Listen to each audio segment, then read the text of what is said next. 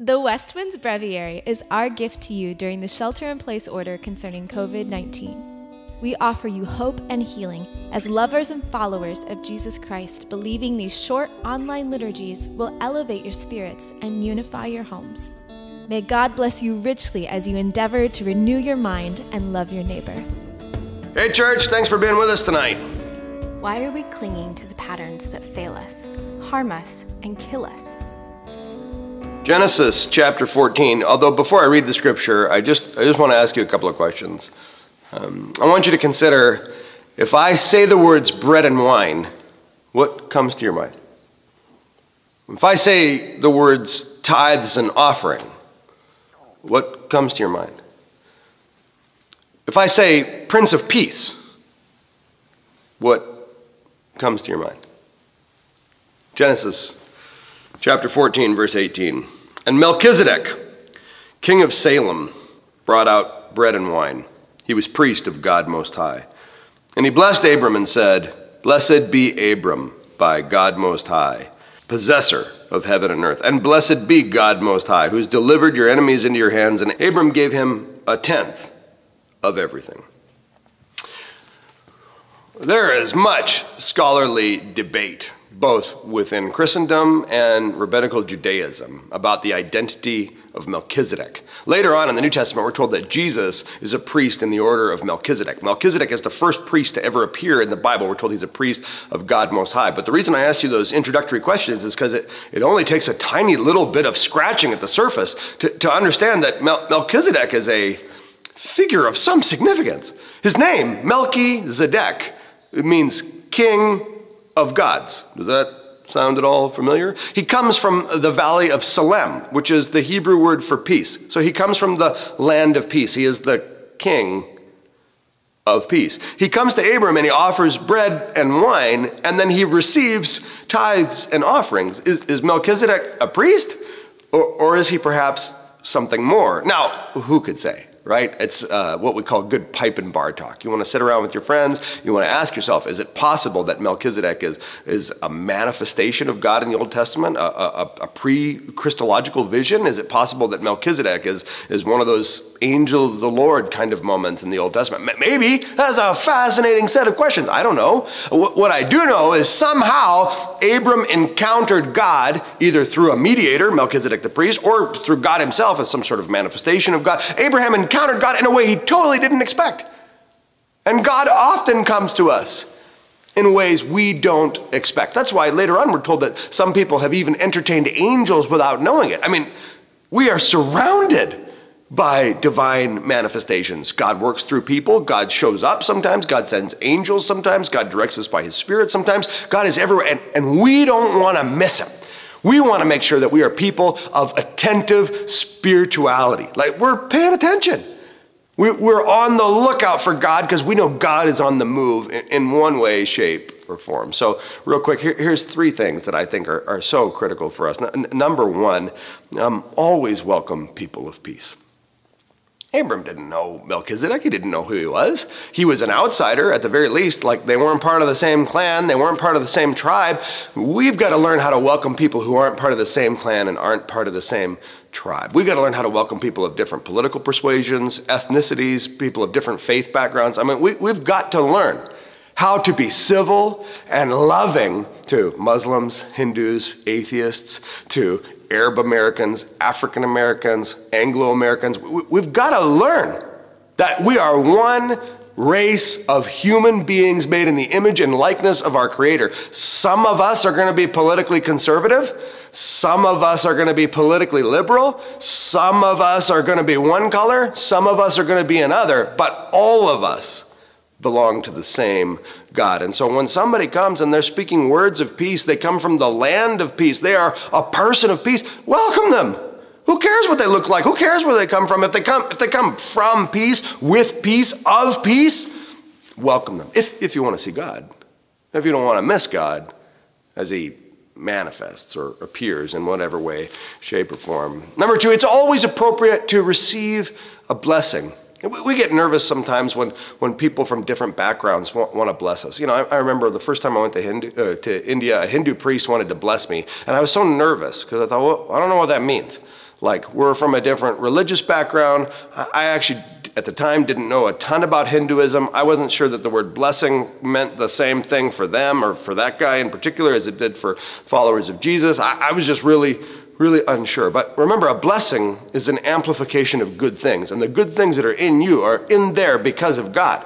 So when somebody blesses you, all they're saying is, in essence, may the good things that God has placed in you grow and flourish. So it's always appropriate to receive a blessing, even if the person that's blessing you is uh, maybe not somebody that you would endorse, or maybe not somebody that you would enjoy.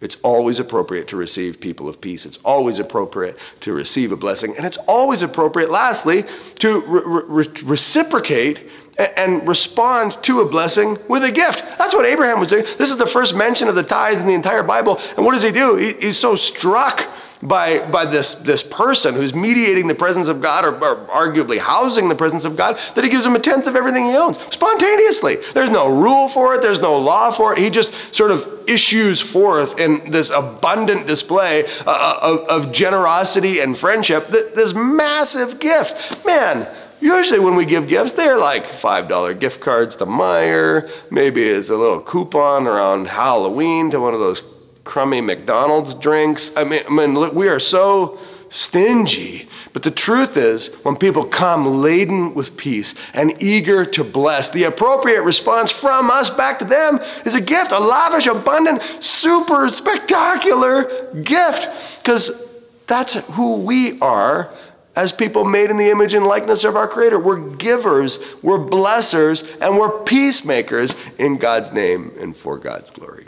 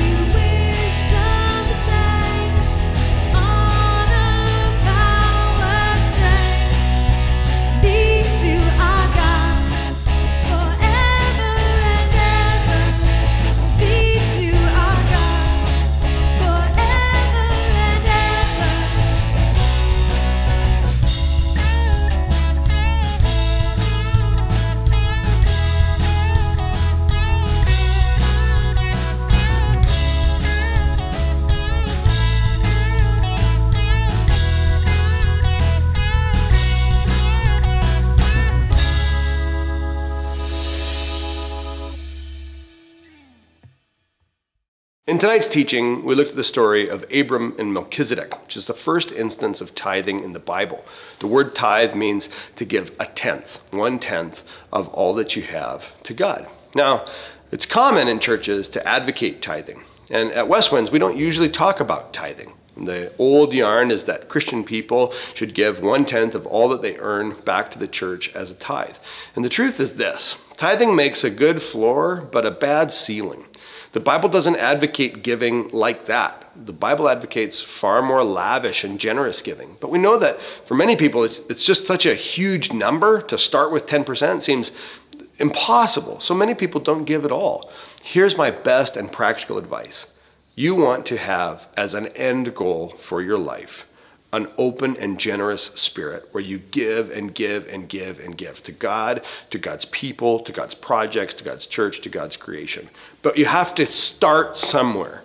So start by assigning a percentage of what you earn to God. Maybe that starts as 1% or half a percent. I, I don't know. It doesn't matter to me. It should matter to you because it's your money and you're earning.